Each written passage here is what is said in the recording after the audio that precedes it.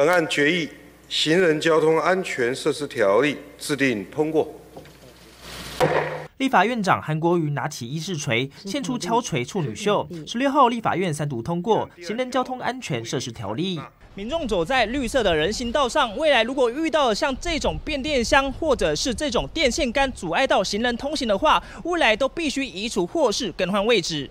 还有像这种私人店家的突出招牌，未来如果真的挡到行人通行的话，县市政府也可以开罚。行人安全设施条例明定地方主管机关才有妨碍行人通行的固定设施，如果是招牌等私人固定设施，必须限期改善，否则将按次处以新台币三万到十五万元罚款。新工处那边有在做人行道的一个相关调查，包括净宽。包括上面有哪些设施物会不会阻碍行人通行？至于说如何处分的部分，这部分因为才刚通过，市府这边也还会找各局处一起再来讨论。台北市东区商圈人潮来来往往，部分人行道上妨碍行人通行的固定设施，让原本可通行的空间只剩下大约一个人的宽度，民众闪避障碍物行走，还得跟一旁的汽车避邻，相当危险。如今这项条例通过后，让当地居民直呼很有感。我觉得通过这个很好啊，该。划就划嘛，特别是这种新公司做反应，甚至以监管处没有做反应，包括台电呐，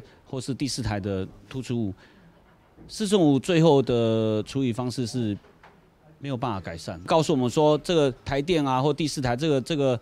基地台要移去哪里，要我们里长自己去找，这是很不合理。所以中央这种定的案例的话，其实对我们里长以后未来要求他们改善。是有一有有有有有法治的。为了摆脱行人地狱的恶名，中央地方政府加速建制人行安全通行路网，让各年龄层的行人享有安全友善的行走环境。民事新闻，乔启胡崇恩台北报道。